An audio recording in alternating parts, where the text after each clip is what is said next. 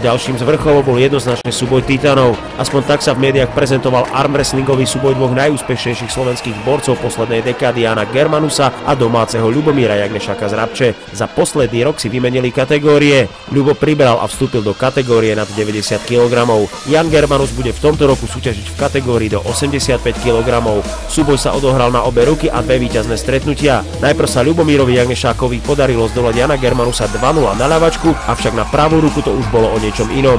Jan Germanus nakoniec víťazil 2-1 a tak sa obom ušiel punc víťazstva. Ja som si e, veril skôr na tú ľavú ruku, pretože tú pravú ruku mám dosť zranenú. E, boli ma asi v troch miestach už dlhé roky, naozaj dlhé roky. E, chcel som postúpiť aj operáciu, ale nakoniec som si to e, vyzul z hlavy.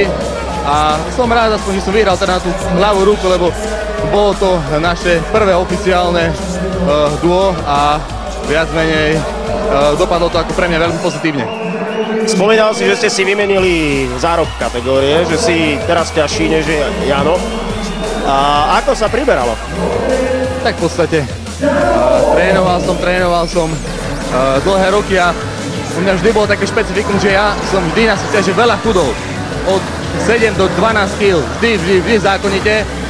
A teraz som sa vlastne rozhodol, že nebudem chudnúť viac ako 3 kg, lebo som nemal na to čas a už, som, už ma to aj prestalo baviť.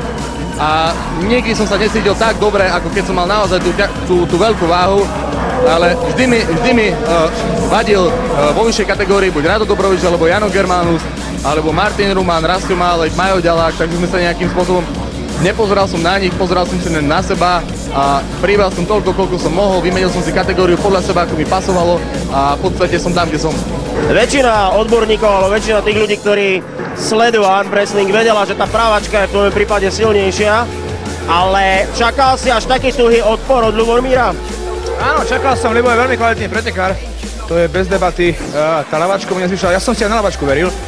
Ja po silovej stránke nemám problém. Ľubé problém, čo? No, to je, to je súhra viacerých komponentov. Nie je to o sile bicepsu, je to o sile prstov. Lebo máte prsty silnejšie, väčšiu dlaň, dokáže mi urobiť problémy, dokáže si vytvoriť lepšiu páku.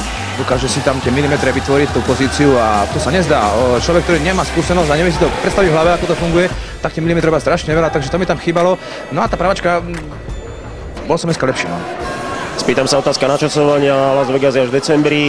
Špeciálne si sa pripravoval na tento večer. Predsa len je ešte čas z pohľadu toho najvrcholnejšieho podujatia. Čas nie. Čas nie pretože pretože toto je cyklus minimálne trojmesačný, trojmesačná príprava.